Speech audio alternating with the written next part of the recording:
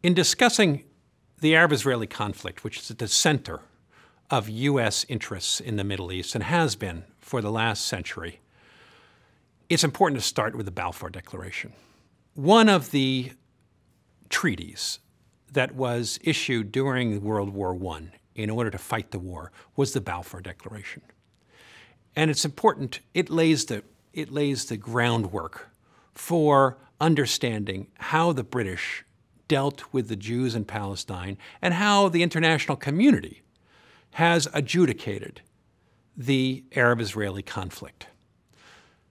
It's a very simple declaration. It was issued in November 2nd, 1917, by Sir Balfour, who was the foreign minister of Great Britain, to Lord Rothschild, a leading British uh, Jew who was a member of the Zionist World Organization.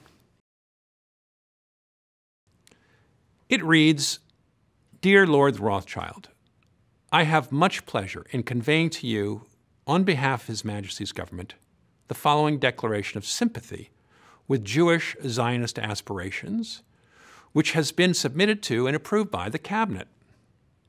So here is the main paragraph, and it is one that is going to bedevil the legal environment of Israel and Palestine. It says, His Majesty's government view with favor the establishment in Palestine of a national home for the Jewish people and will use their best endeavors to facilitate the achievement of this object, it being clearly understood that nothing shall be done which may prejudice the civil and religious rights of existing non Jewish communities in Palestine, or the rights and political status enjoyed by Jews in any other country. I should be grateful if you would bring this declaration to the knowledge of the Zionist Federation signed by Lord Balfour. Now, this very simple paragraph is jammed with ambiguity. If you were amongst the Jewish leaders of the Zionist Federation and you were trying to determine what does this mean for the Jews, you would quickly discover that it's full of ambiguity. For example, what is a Jewish homeland? It's certainly not a nation state. The Jews were not to govern the mandate of Palestine, which was going to be governed by the British. So, what does national home mean? Perhaps it means you could go in as many and large numbers as you wanted to migrate from Europe to Palestine. Would you be able to assume authority over the country once the British leave? All those questions are left open. What you would be happy about is that it mentions the Jewish people and it men- mentions a national home. So, national and people are both used to describe Jews.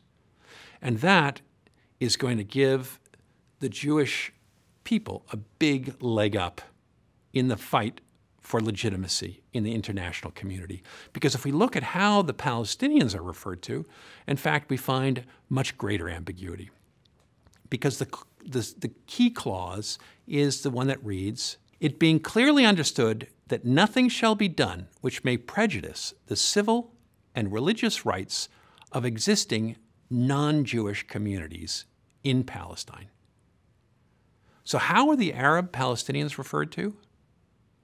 They're not referred to by name, they're referred to as the non Jewish communities in Palestine.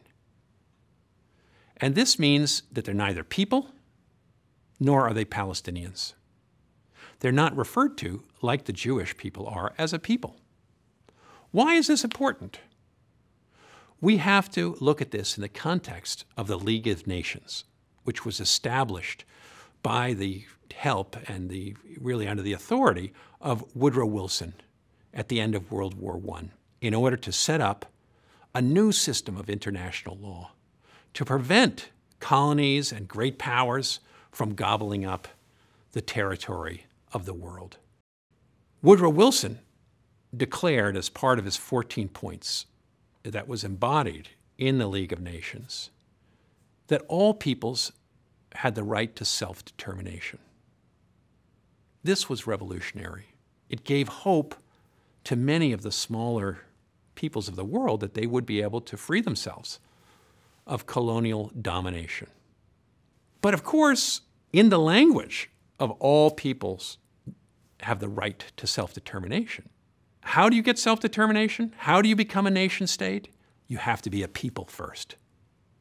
In the Balfour Declaration, it's written that the Jews are a people and they have a right to a national home. For the Palestinian Arabs, of course, they don't achieve this level of recognition.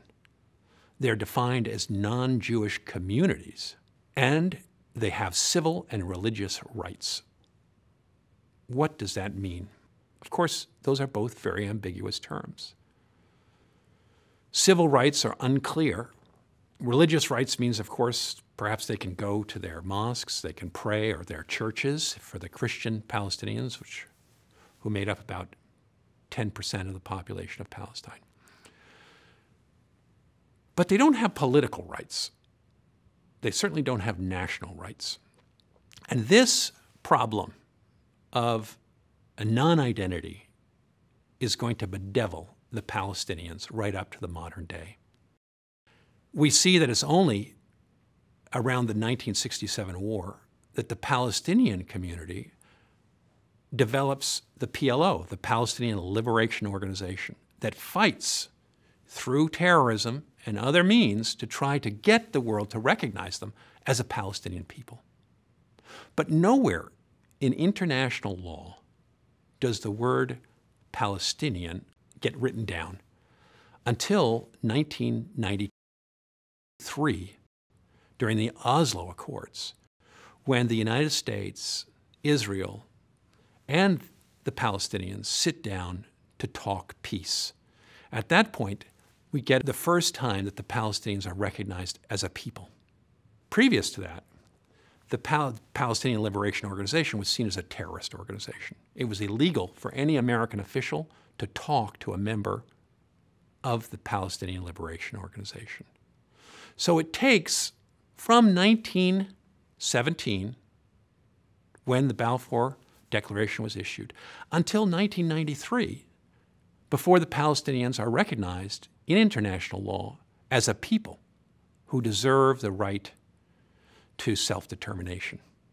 And even then, they haven't arrived at their object of having a nation state. The Palestinian Authority that was established after Oslo Accords in the West Bank has been struggling to get national identity. The Americans and the Israelis see the Palestinian Authority and call it the Palestinian Authority, where the Palestinians call themselves the PNA, the Palestinian National Authority. They insert that word national in there because they want to achieve national rights. The United States and Israel are holding off giving that name to them until a final peace agreement is signed between Palestinians and Israelis, at which point they will achieve their national rights. But until, until that day, they remain only a Palestinian people with limited rights in the West Bank. And the conflict between Palestinians and Israelis continues. Those questions of identity are all embedded in this one little paragraph. For the Jews, it offered the hope of a national home and perhaps at the end of it, national independence. But before the Jews would achieve that, they would have to build up the institutions of a nation and finally go to war in 1948 in order to win and conquer the territory of Israel.